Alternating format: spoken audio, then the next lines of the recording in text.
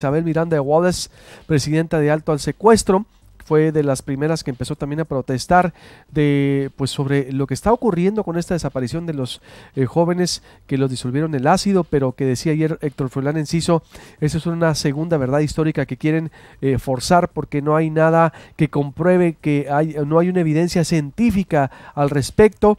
Eh, están saliendo marcianos en Jalisco, hay pues una violencia desmedida. Isabel Miranda, buenos días. ¿Qué tal? Buenos días, Luis Alberto, a todo tu auditorio. A ver, ¿por dónde empezamos? ¿Qué ocurre en Jalisco o que no está dejando contentos a nadie por allá? Eh, pero es la verdad, pues un signo de alerta la violencia en ese estado, eh, Isabel.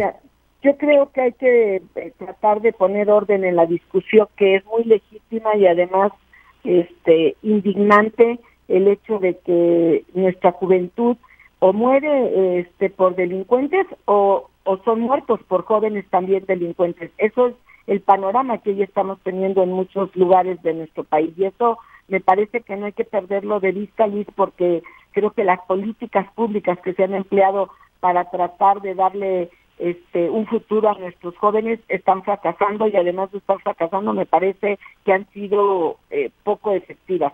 Por otro lado, déjame decirte que en el caso de estos jóvenes, la Fiscalía hizo una muy buena investigación.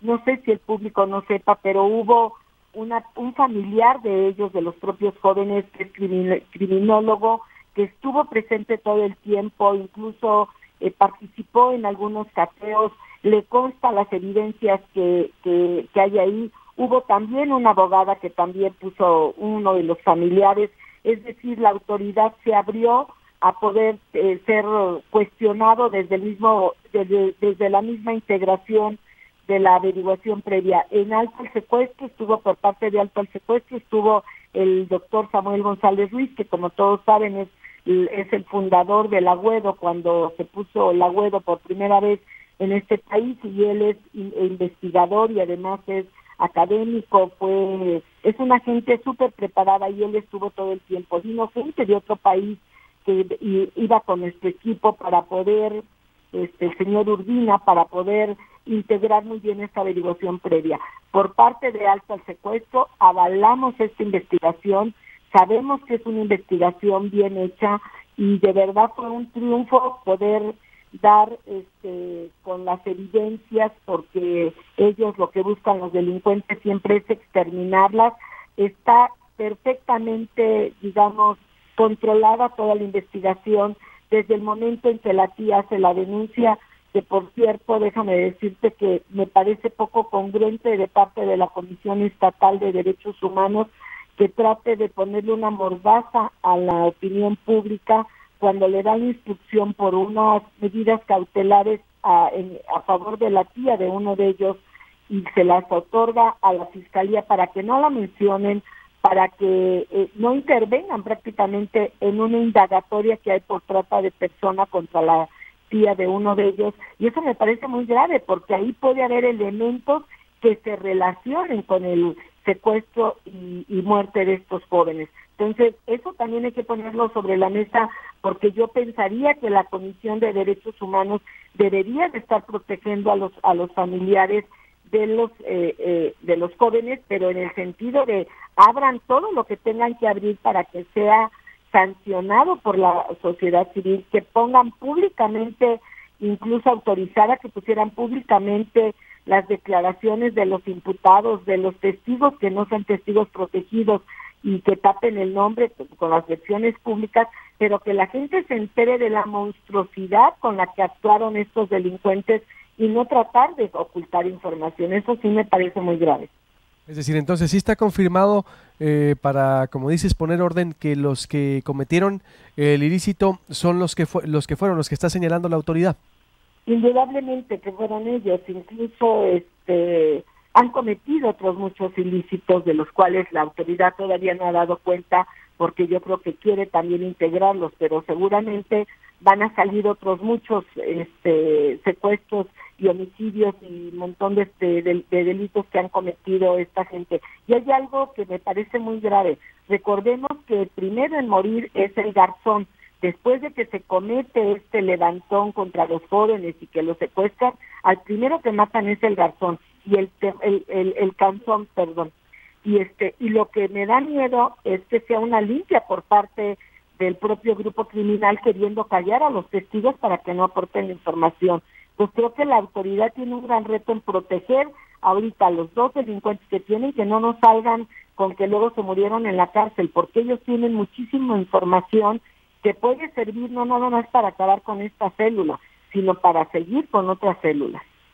Bien, eh, entonces por lo que veo ahí hay una especie de semicontrol, por lo que me comentas. ¿Qué es lo que está detrás de, de todo esto, o, Isabel? Entendemos que la tía, la casa de la tía donde estaban, está eh, involucrada, sí, o está siendo investigada por la autoridad. Sí, mire, no sé si ustedes sepan, pero en esa casa llegaba una persona que le llaman Don Diego, que tiene que ver con el cártel, este, con la división que tuvo con el cártel.